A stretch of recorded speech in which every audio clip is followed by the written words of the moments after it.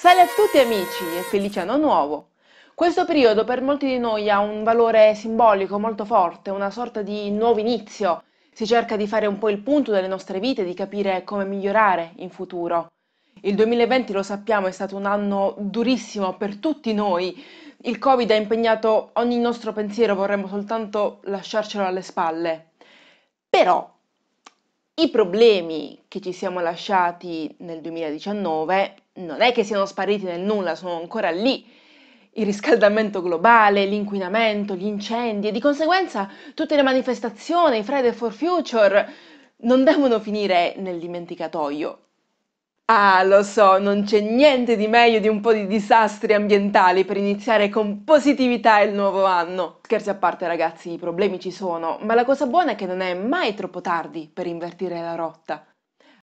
A dire il vero, fra un poco sarà troppo tardi, però non è ancora troppo tardi. Ed è per questo che oggi ho deciso di fare un video un po' diverso dal solito, per cercare di capire insieme che cosa si può fare a riguardo. Enjoy! Tutti noi siamo un po' alla ricerca di soluzioni semplici, semplici da attuare ma anche semplici da comprendere. Plastica cattiva, carta buona, sì questo, no quell'altro. Il problema è che nel mondo reale questi assoluti non esistono. Le tematiche ambientali sono sempre molto complesse e ogni cosa va sempre valutata caso per caso. Potremmo fare tante cose per salvaguardare il nostro pianeta, dalle nostre scelte politiche, ai nostri investimenti economici, alle nostre abitudini alimentari. Oggi però voglio parlarvi di un solo proposito, uno soltanto da aggiungere alle nostre vite, che per me è il più importante di tutti in assoluto. Dobbiamo sprecare meno. So che magari qualcuno di voi avrà già storto il naso, il mio non è un consiglio originale, lo so. Il punto è che non lo facciamo, l'abbiamo sentito ovunque, ma non lo facciamo. Dobbiamo sprecare meno da tutti i punti di vista, dal cibo che buttiamo, all'acqua del rubinetto, ai nostri consumi energetici, ai vestiti che compriamo. Dobbiamo cambiare la nostra mentalità. Ho visto persone tenere riscaldamento e aria condizionata così a palla da passare l'inverno in t-shirt e l'estate col maglioncino. Ma la mia non vuole essere soltanto una critica agli altri, perché anch'io spreco tantissimo. Siamo figli della cultura dello spreco e contrastare questa tendenza è difficile, me ne rendo conto. Quello che vi chiedo quest'anno è di interrogarvi sui vostri consumi. Chiedetevi ogni volta che state per acquistare qualcosa se quel qualcosa vi serve, se porta valore alla vostra vita. E se siete onesti scoprirete che la maggior parte delle volte la risposta è no, non vi serve davvero. È importante ricordare che l'impatto zero non esiste, ogni essere vivente ha un suo impatto sull'ambiente, noi umani non facciamo eccezione. L'importante è cercare di ridurre questo impatto per quanto possibile. Decidere poi cosa è spreco e cosa non lo è è qualcosa di estremamente personale. Ad esempio, facendo questo genere di considerazioni, mi sono resa conto che per me lo smalto alle unghie non è qualcosa di importante. Per carità, mi piace, però non è che mi renda particolarmente felice averlo alle mani. L'ultimo smalto l'ho comprato due anni fa per il matrimonio di mio cugino e non penso che ne comprerò in futuro.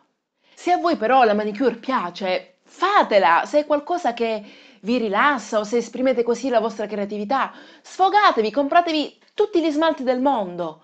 Il punto è imparare a distinguere ciò di cui abbiamo veramente bisogno da ciò che ci insegnano a ritenere necessario. Ma no, questa frase è troppo bella, aspetta che la ridico. Il punto è imparare a distinguere ciò di cui abbiamo bisogno da ciò che ci insegnano a ritenere necessario. I famosi must have, quelle cose che si devono possedere. Ma must have di che? Chi l'ha detto? Dove sta scritto? Ed il problema non è solo la plastica, Anzi, mi azzardo a dire che ci sono problemi molto più impellenti della plastica. Per esempio, l'aumento di gas serra in atmosfera. Il movimento plastic free è sicuramente valido, ma è semplicistico ed è un concetto che fa presa proprio perché è semplice, ci dà una direzione chiara di ciò che è etico e ciò che non lo è. Fra l'altro per noi è molto facile comprendere quali siano i danni della plastica. Siamo inondati di fotografie di delfini o tartarughe marine soffocate dalle buste di plastica. Sono immagini strazianti che però ci danno un messaggio molto diretto. Più difficile invece è far comprendere il fenomeno dell'acidificazione degli oceani, ad esempio. Ed infatti, quante volte ne avete sentito parlare? Quando compriamo qualcosa non dobbiamo pensare soltanto alla sua vita nella discarica, ma a tutta la filiera produttiva, alle risorse che sono servite per produrlo e trasportarlo. Tempo fa su Instagram Dario Bresanini scrisse un post provocatorio che parlava della plastica che ricopre i broccoli in alcuni supermercati. Quella plastica che viene facilmente accusata di essere l'ennesimo imballaggio inutile è in realtà stata studiata per permettere un passaggio regolato di ossigeno e anidride carbonica e quindi di rallentare la marcescenza del broccolo. Questo vuol dire che quel sottile strato di plastica, ad una visione più attenta, si rivela paradossalmente essere la scelta più sostenibile, perché evita uno spreco alimentare e tutto ciò che c'è dietro. Acqua, fertilizzanti, carburante per le macchine agricole, carburante per il trasporto ed ancora i costi di smaltimento. Come vi dicevo, non esistono assoluti, è tutto molto più complesso di come appare. Questo non toglie però che la maggior parte degli imballaggi sia largamente evitabile. Attenzione poi all'ambientalismo da Pinterest, queste case immacolate con le dispense a vista e tutti i prodotti sfusi perfettamente ordinati in barattoli di vetro identici. Con la crescente preoccupazione verso le tematiche ambientali si è creata anche un po' una moda. Per carità, meglio quella di moda che altre, però ho l'impressione che i movimenti zero plastica, zero sprechi siano diventati anche un po' un gusto estetico più che una vera e propria lotta allo spreco. Va benissimo il barattolone di vetro per sistemare i vostri prodotti sfusi. Ancora meglio però è riutilizzare le bottiglie di salsa di pomodoro, ad esempio. O ancora, vi serve davvero una cannuccia d'acciaio per essere sostenibili? Per carità, meglio quella che mille di plastica, ma ancora meglio evitare a monte di bere da una cannuccia. O no? Questo discorso può sembrare banale, ma lo faccio per mettere in luce quali sono i nostri meccanismi mentali sbagliati. Ad esempio, di quante borse di cotone biologico abbiamo bisogno per fare la spesa? ne compriamo 5.000, ce le danno in omaggio alle fiere, siamo inondati da queste buste. Se ci facciamo i conti però, queste borse sono ecologiche soltanto se vengono usate più e più volte per un lungo periodo di tempo. Se no, è più sostenibile la plastica, eh? Questo per dirvi che non basta scegliere il bambù al posto della plastica, come non basta preferire l'energia rinnovabile. Questo perché non sono soltanto le nostre risorse a non essere sostenibili, è il nostro stile di vita a non essere sostenibile. Fra l'altro ho l'impressione che sia passato il concetto che la sostenibilità sia qualcosa per ricchi. Ed in parte è vero, non tutti hanno la possibilità di comprare maglioncini biodinamici di lana rigenerata da pecore bio che si fanno tosare soltanto se glielo chiedi per favore. Però tutti possiamo scegliere di fare lavatrice a pieno carico o di cercare di prendere l'autobus invece che la macchina. Questo qua è il giocattolo preferito del mio cane. È una treccia di calzini vecchi e vi giuro che lei lo adora. Li ho lavati, ve lo garantisco. Le confezioni di plastica della pasta? Mia madre mi ci metteva la merenda quando andavo a scuola e plastica per alimenti la si può riutilizzare. Certo non sarà particolarmente bella da vedere, però vi assicuro che è ecologica. Voglio ribadirlo, io non sono perfetta, questo è un percorso lungo, io ho ancora tanto da migliorare, spreco ancora tanto, però penso che la coerenza sia un concetto abbastanza sopravvalutato. Molto meglio un miliardo di persone imperfette che cercano di fare il proprio meglio e di sprecare meno che una manciata di pochi eletti che vivono una vita perfettamente sostenibile.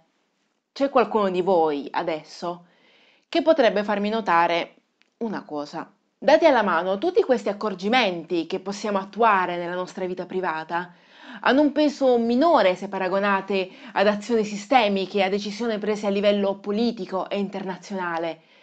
E Purtroppo avrebbe ragione, è così. Ma una cosa non esclude l'altra, non dobbiamo scegliere se batterci a livello politico o chiudere il rubinetto quando ci laviamo i denti. Vederle come cose antitetiche è una cavolata. Sono semplicemente due facce della stessa medaglia.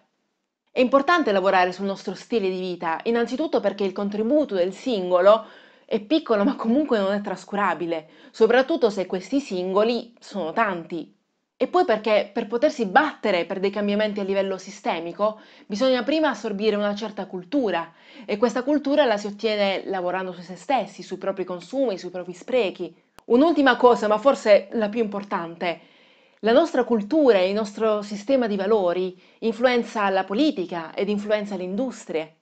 Sotto elezioni non c'era un singolo partito che non promettesse una maggiore attenzione all'ambiente, promettesse. E via via che cresce il dibattito sulle tematiche ambientali, le aziende diventano sempre più green, fanno attenzione al packaging alle proprie emissioni di CO2, in generale alla sostenibilità dei propri prodotti. In alcuni casi purtroppo si tratta di fuffa, sono specchietti per le allodole. Abbiamo visto insieme come essere sostenibili e sembrare sostenibili siano concetti diversi. Ma tutta questa attenzione fino a pochi anni fa semplicemente non c'era. E più dimostriamo di dare importanza all'ambiente, più cerchiamo di essere consumatori consapevoli e lettori informati, più incisivo sarà questo cambio di rotta. Per quanto mi riguarda, però, il primo passo resta sempre e comunque sprecare di meno. Spero veramente che questa chiacchierata con voi vi porti a farvi riflettere sull'importanza delle nostre scelte. Interrogatevi sui piccoli gesti, sulle piccole azioni che compiamo ogni giorno.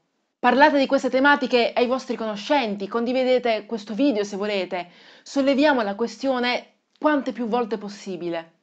Questa volta vorrei tanto che nei commenti si creasse un dibattito, vorrei sapere cosa ne pensate di quello che ho detto, se siete d'accordo e se non lo siete, perché. Oppure scrivetemi quali sono i vostri di propositi sul fronte della sostenibilità, oppure quali sono i vostri accorgimenti per sprecare meno. In descrizione vi ho lasciato anche qualche link che penso possa esservi utile. E non mi resta che augurarvi buon anno. Alla prossima!